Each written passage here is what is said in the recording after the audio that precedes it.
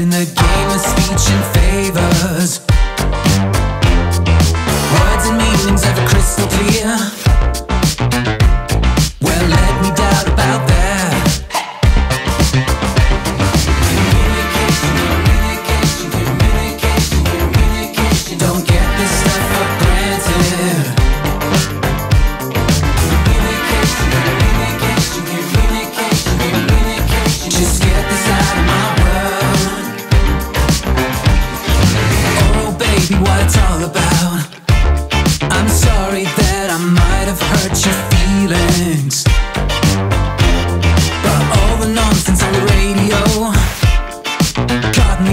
My sense of conversation.